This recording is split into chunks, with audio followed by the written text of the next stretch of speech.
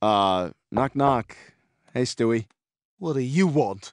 I just want to talk to you about everything that happened. Um, you know, you were the only person who believed in me when I was down. This all happened so fast, and I lost sight of who I was. I mean, you know, sure, you were in a little over your head, but. Whoa, whoa, whoa, whoa, whoa. I was in over my head? Yeah, but Stewie, this isn't about all the things you did wrong. It's about me apologizing. Okay, then apologize. I just did. No, you didn't. You just said it's about me apologizing. That's not actually apologizing. All right, Stewie, I'm sorry that I made you uncomfortable and put you in a situation that you clearly couldn't handle.